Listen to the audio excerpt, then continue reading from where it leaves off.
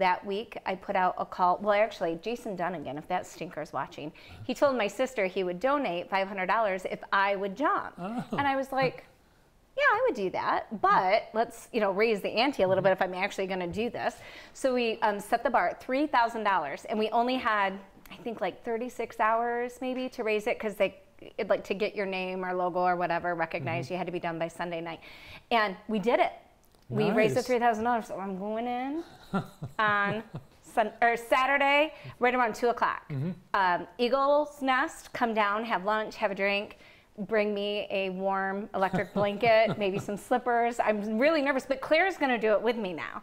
So my 11 year old Ah. is going to do it, and we're really excited. Uh, I know you've been t- uh, to the event before as a spectator, and you've seen the costumes and the themes people do. Yes. Do you and Claire have a plan? I don't know because I thought I was going to be jumping with the law enforcement team, and so I hmm. texted them and said, "Hey, what are we wearing?" And they're like, "Oh no, do your own thing, register yourself." So I'm like, "I don't know. Maybe I should wear something JTV." Oh yeah, great idea. Yeah, maybe we should do that Yeah, because I do work here on Mondays. that's right. You should wear you should wear something JTV. Yeah, so come out and see us. I think it actually. I'm glad there's snow and it actually is I cold. If it was like 40 degrees, it wouldn't be that big of a deal that we were. It'd be more like the I don't know, mild Oddly- mild plunge. So I have talked to people that jump that have done this, and they say the colder it is outside, the easier it is. Yeah? Because the water temperature it's always always above 32. Oh. So if the air temperature is like five and the water temperature is 32, Oh, it's like jumping into the warm bath. inter. Uh, yeah, I'll let you. That sounds like a bunch of malarkey, but I'll let you know on Okay. Monday what my thoughts are on that. All right. Are you going to come out? Uh, yeah. Yeah. That uh-huh. sounded like a no, but I'm not. I have 30,000 other things I'm going to be doing. I'm planning. I would like to come out, but I have something that I have to be at just before that. Oh, So okay. I might be a little late. Okay. So wait till I'm get I'm there before you jump. I have to be done by three because Claire has the daddy daughter dance that night, so we have to get home and get ready for it. So try to get there. I will push it, but if you're not there by 2:40, I'm jumping. Okay. I don't even know if I have that say. They might just tell me when I have to go. I go. think they the, they tell you when to go. oh, okay. They, yeah. I'll, Well, I'll if I there. if I drop the Bart Holly, they'll give me a little Right, extra right. Yeah. liberty. Yeah, that'll get, that gets you the best tables. uh, now, it's that time of year. Is there anything happening in the real estate industry? Yes, and Ah. this is the message I want to put out into the world. Like, we saw what we've had over the last nine months is really just a reality check. So if mm-hmm. anybody was, they were just being completely unrealistic with their expectation, they've had a real reality check. That's it. You know, there hasn't even really been a dip per se. We've had a correction because things were so out of whack. So if your house is worth 40% more than it was two years ago and you've lost 5% in the last nine months, so what? Your overall growth is still more than you, we've seen in history. Mm-hmm. So it is still pretty much a seller's market. Um, the difference is buyers are tired of getting raked over the coals, and they had been for, for the last two years, right? They had to go over asking, they had to pull out cash out of 401k. Write an essay. Uh, yeah, whatever they had to do. Yeah, let them let the seller live there for 90 days rent free and move in on Christmas Eve. You know, I mean, just Yeah. crazy, crazy things. And now the buyers are like, wait a second, wait a minute, wait a minute. You know, I've been looking for two years, and now the rates are double, not quite double, but they're mm. significantly higher than they were. So I still want these houses, but you're going to have to be a little bit more reasonable with me. And most of the sellers have so much built-in equity there that they're like, yeah let's let's be reasonable. And i will tell anybody thinking about selling listen to your realtor when they talk about timing and price point. We know what we're doing. You know not, not only have we been you know like formally trained but if you hire somebody with experience we've been through those trends. And there are some cycles that happen every year regardless of what other crazy thing like covid. Guess what? March april may june were still our strongest months out of the year because they always are. Um, so things are still very, very good. We have a lot, well, several listings that will be coming on. Um, you know, we're just waiting for spring to get here, so we're doing that prep work. That's a great.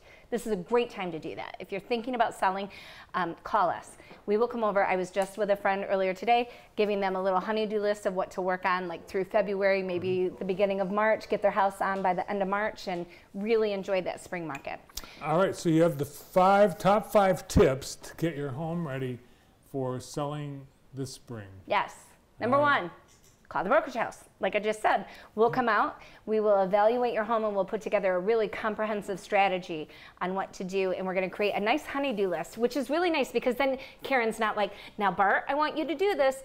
She's going to say, Jenifer said we had to do it, and it's just going to fall a little easier. Oh, yeah. Two, start sorting now. It's going to make moving so much easier. Make a donate, keep, sell, and toss piles. Call and order a dumpster if it's broken, if it is just something that has been lying around forever and is not going to serve anybody, toss it. Uh, if you you know feel if it's something that you really really love, you're not sure if you can part with it or not, donate it and give it to somebody that couldn't otherwise enjoy something like that. And you know what? Like everybody thinks their stuff is worth, you know, a fortune. And some people are really good at that. Sell it, go for it. And the things you're going to keep, let's get it organized and packed up and ready to go. Um, finish all those DIY projects. Do not list your house with half the bathroom um, uh, tiled and half of it on. Don't list your house with missing thresholds or um, like I love my favorite is like when a room is half painted and never finished. Please finish those.